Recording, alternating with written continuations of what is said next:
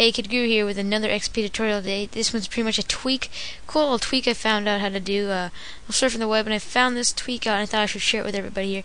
So, you know your system properties menu displays your, uh, you know, uh, your system, your, you know, what version you're on, registered, you know, name and everything like that. But down below, by the manufacturer and supported by picture, you probably have whatever your uh, logo is put inputted by your uh, whatever uh, computer you have. For my example, would be Compaq. But for this little tweak, I found a little, a little something, something uh, cooler, which would be right here.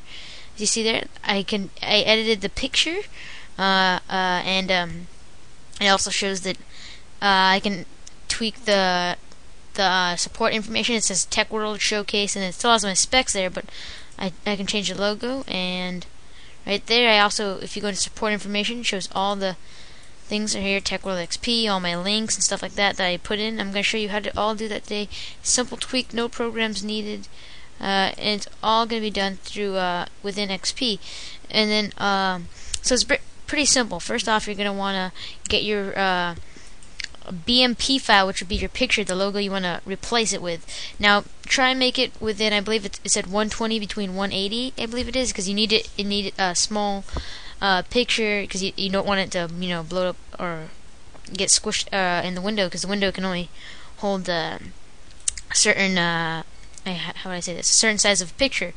So basically, you're gonna get that BMP and you're gonna go into your Windows directory at My Computers, Local C Disk, Windows, and you're gonna take that BMP. It has to be a BMP and store it in the System32 file. So Local C Disk, Windows, System32 drag the BMP file all the way to the bottom, which will be right here, and name it, and then rename it oemlogo.bmp, oemlogo.bmp.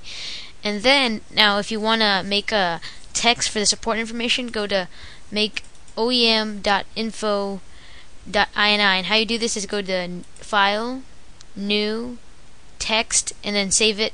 Text, open the text, and copy this text right here. I'll leave these, leave these, lift leave this in the video description for you guys to co uh, copy.